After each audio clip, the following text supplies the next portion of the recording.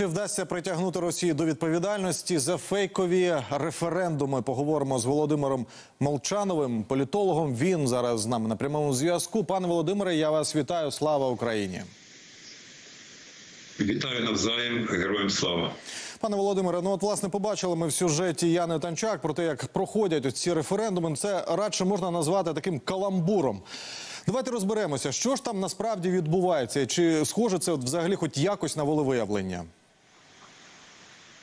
Ні, звичайно, не може бути волевиявленням е, обхід е, людей по їх прямо квартирах і будинках е, з двома щонайменше автоматниками, без жодних е, релевантних списків е, виборців. Е, Тому можна кілька разів до одного приходити, можна взагалі поставити з будь за будь-кого якусь галочку, чи просто поставити галочку, і ніхто це не буде перевіряти. Тому, власне кажучи, коли озвучує так звана голова виборчкому на прізвище Захарова якісь цифри, що 15%, тобто 110 тисяч в перший день вже проголосувало.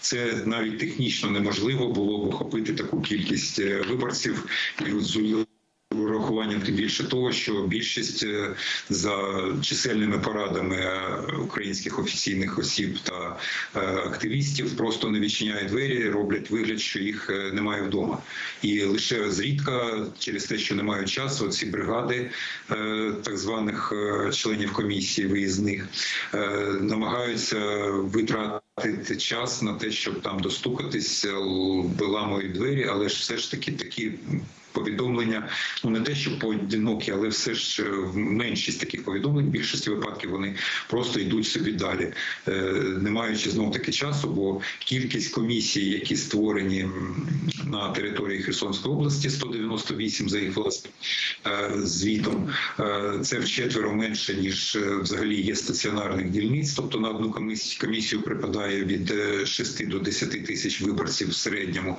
і обійти навіть, хоча вони і розділилися, і ці пачки бюлетенів таскають за собою е, кілька груп. е, Все ж таки вони за 4 дні всіх не встигнуть. І тому е, чисельним є наразі повідомлення, що досі ніхто не приходив, е, як всередині Херсона в місті, е, так і в цілих окремих населених пунктах.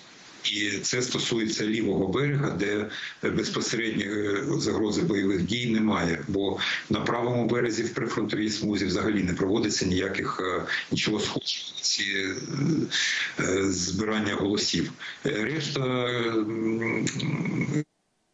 Технології збирання вони абсолютно провалилися поки що. Тобто е, спроби засісти на десь в людних місцях е, або біля на прибудинкових територіях і там чекати, що хтось прийде. Це взагалі то такий е, абсурд, який можна тільки зі сміхом сприймати, тому що дійсно ну можливо так вони один-два голоси на день зберуть бажаючих. Ти- Тим більше тих, хто не боїться при цьому і засвітитися.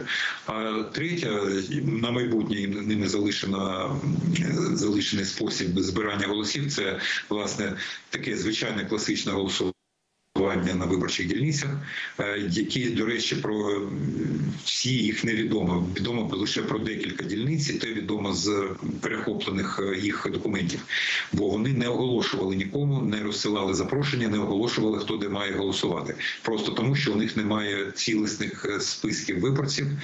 У деяких є захоплених позаминулорічної давності, точніше 19-го року з президентських виборів, але у більшості взагалі нічого немає. Якщо вони вже якісь щось там роздобудуть, е, то оперують ним або просто ходять з зошитами і записують туди, хто ж проголосував.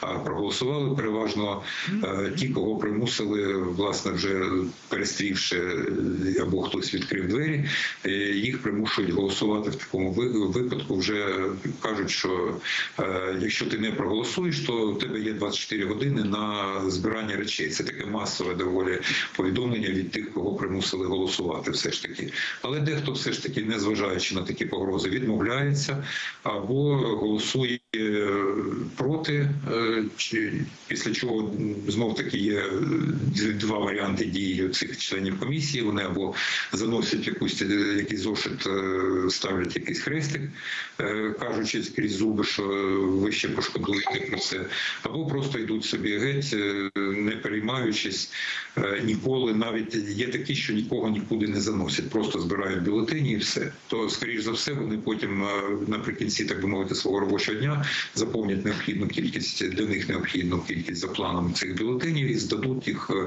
куди треба. Звіяти Звіряти зі списками виборців ніхто насправді не буде, тому це для херсонців, щоб вони не побоювались так сильно тих е, зошитів або листів, що у них є зі списками виборців. Вони настільки всі в різнобній зроблені, що систематизувати їх на централізованому рівні просто неможливо. І якщо ви принаймні живете в великому місті, чи в Херсоні, чи в Новій Каховці, чи в Каховці, то точно вже е, вас там ніхто не знає, і до вас е, карати вас за те, що ви там не відкрили двері, чи е, відмовились голосувати, навряд чи у них стане такої часу і натхнення. Пане Володимире, от враховуючи те, що от ви нам зараз розповіли, скажіть, будь ласка, на вашу думку, для чого взагалі тоді потрібно Путіну ось це голосування? Насправді, щоб показати якийсь результат, йому це не потрібно. Е, Більш того, ці наблюдателі, яких він завіз, якісь європейські маргінали, не тільки європейські, е, вони вже в більшості своїй світилися і раніше в якості, так би мовити, журналістів чи спостерігачів е, під час окупації. Вони ніякого впливу на громадську думку не мають, і їх повідомлення про те, що все пішло там в якось е, в межах закону чи міжнародного права, вони ніякої цінності не матимуть. Е, Тому єдине, е, єдине пояснення, чому вони проводять дійсно.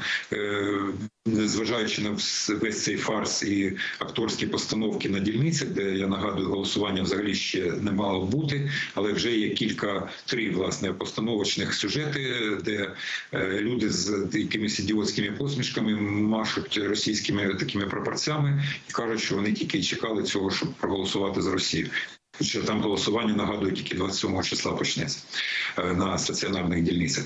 Так ось е, тут е, єдине, що можна чи, чи можна це пояснити, це по-перше, залякати тих людей, які зараз не сприймають окупацію і намагаються якось від неї дистанціюватися. Це більшість така херсонців. А по-друге, когось зламати і так би мовити, пов'язати спільним злочином, тому що згідно з українським законодавством, участь у референдумі це є кримінальний злочин за 111 е, тире 1 статтею кримінального кодексу, і покарання за нього аж до 12 років з конфіскацією.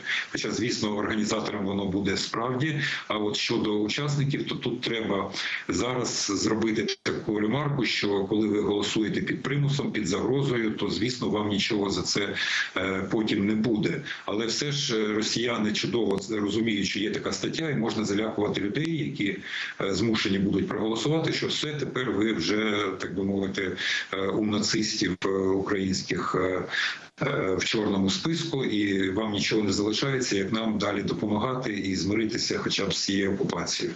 Ось приблизно такі в них, е, я думаю, мотиви. Е, Бо е, решта, е, скажімо так, показати картинку, вони її показали і без е, цих спроб. Тобто, ці сюжети, про які я казав, їх можна зробити навіть не обходячи квартири і не е, наражаючи своїх цих людей на якісь там прокльони, небезпеку того, що їх е, сфотографують, і так і дійсно що більшість з них вже сфотографовані в якийсь спосіб. Е, І крім того, не відволікати майже 10 тисяч російських солдатів з Росгвардії на те, щоб супроводжувати оцих всіх збирачів підписів. Пане Володимире, от Кремль з першого дня окупації намагається русифікувати міста від валюти до освіти. А чи вдається змінити от погляди людей? Погляди ні, хоча, звісно, через те, що більше половини херсонців вже е, евакуювалися, е, незважаючи на всі труднощі, які окупанти їм створюють, і звісно, скажімо так, рускомірців стало відсоток рускомірців е, завдяки цьому дещо збільшився, але він меншим є ніж навіть кількість тих прихильників до вторгнення прихильників проросійських партій, які за них голосували. Тобто навіть зараз з із здивуванням можна відзначати.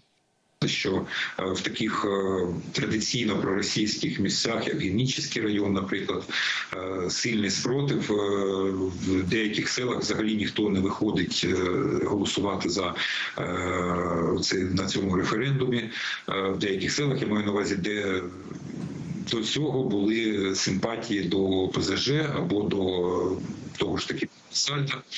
Е, Тобто тут е, попередня партійна партійні симпатії, попередні симпатії навіть до Росії, е, вони зникли разом із тими труднощами, які окупанти створюють з тим страхом і терором, які вони зараз чинять проти херсонців, Пане Володимире, проти жителів. а як ви вважаєте, чи зважилася б от, власне Росія на проведення цих псевдореферендумів, якби от свого часу світова реакція на анексію Криму була зовсім іншою? М- Будь ласка, коротко, тому що закінчується у нас час. Коротко, звісно, ні. Тобто Росії до і досі, на жаль, продовжують загравати з Росією, фактично цього разу е, побоюючись своїх енергетичних криз там або ядерної зброї. Е, І звісно, коли е, це група, скажімо так, росіяни, це якась група людей, все ж таки велика група, до якої слід підходити з психіатричної точки зору, тобто з наукової з наукової психіатрії, люди з комплексом неповноцінності груповим, які намагаються його компенсувати тими стражданнями, які вони завдають е, слабшим за них, меншим за них, тобто от України. Е, І як їх зупинити може лише груба сила. На жаль, це так, і іншого способу зупинити, а потім е, унеможливити подальше їх повторення і реванш реваншизм лише з допомогою контрольованого розпаду розпуску Російської Федерації. Інакше, на жаль, ніяких е, всі мрії про демократичну, мирну і там якусь е, вільну Росію вони є абсолютною утопією. Це просто держава, яка через свої великі розміри і через свою історію, через таку колективну етнопсихологію, вона е, приречена бути або загрозою для е, сусідів, щонайменше, або і всього світу. Або Пане Володимире, дуже багато тем, на які хотілося б з вами поговорити, але на жаль, ми дуже обмежені в часі, тому поговоримо вже наступного разу. Дуже вам дякую за цю розмову. Гарного вам дня. Це був Володимир Молчанов, політолог.